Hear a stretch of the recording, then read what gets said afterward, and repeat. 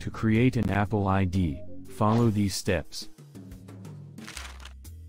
On a Mac or iOS device, open the App Store or iTunes Store on your Mac or iOS device. Search for a free app and click on Get or Download. You may be prompted to sign in or create an Apple ID. Click on Create Apple ID. On a Windows PC, download and open iTunes from the official Apple website. In the upper left corner of the iTunes window, click Account and then select Sign In. Click on Create New Apple ID. Through a web browser, go to the Apple ID account creation page by visiting appleid.apple.com. Click on Create your Apple ID. Follow these general steps, fill in your personal information, including your first and last name, email address, this will be your Apple ID, and a password. Make sure your password is secure, containing both letters and numbers. Choose your country or region and enter your date of birth. You might be asked to enter a verification code sent to the email address you provided for added security. Agree to the terms and conditions.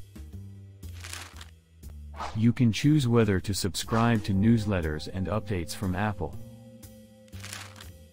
Provide answers to security questions, these will help you recover your account if you forget your password. Verify your identity by providing a phone number.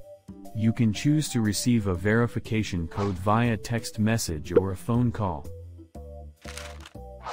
Enter the verification code sent to your phone. Set up payment method, you'll need to add a payment method, either a credit slash debit card or PayPal. This will be used for purchasing apps, music, or other content from Apple. If you don't want to add a payment method right away, you can select none. However, you'll need to add one later to make purchases. Verify your email. Apple will send a verification email to the address you provided. Open the email and click on the verification link to confirm your email address. Congratulations! Your Apple ID is now created, and you can use it to sign into the App Store, iTunes, iCloud, and other Apple services. Remember to keep your Apple ID and password secure, as they grant access to your personal information and digital purchases.